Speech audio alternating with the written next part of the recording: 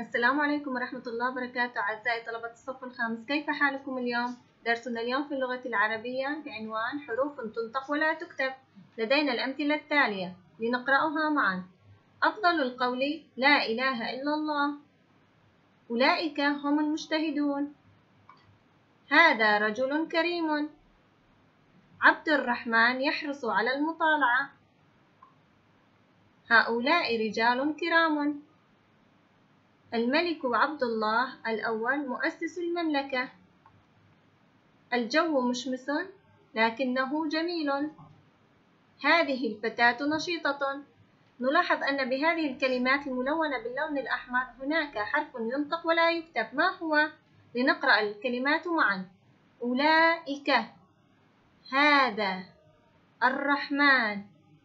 ما الحرف الذي نطقناه ولم نكتبه؟ أحسنتم. إنه حرف الألف. ولكن لا يجوز أن نكتبه في هذه الكلمات. مثل هذا لا يجوز أن نكتبها بهذا الشكل هذا. تصبح الكلمة خطأ. إذا نستنتج أن هناك كلمات فيها حروف تنطق ولا تكتب. الرحمن إله الله هذا هذه هؤلاء لكن أولئك وغيرها من الكلمات. شكرا لكم أعزائي الطلبة.